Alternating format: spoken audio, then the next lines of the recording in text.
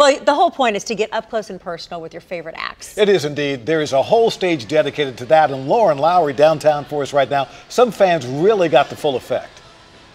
Absolutely, yeah. Trisha Yearwood was who kicked off the CMA close-up stage at Music City Center today. Take a look here.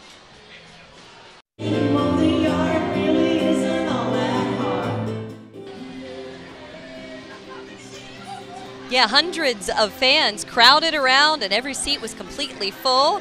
She's a longtime favorite of the fans that come here, especially this mother and daughter duo from Arkansas.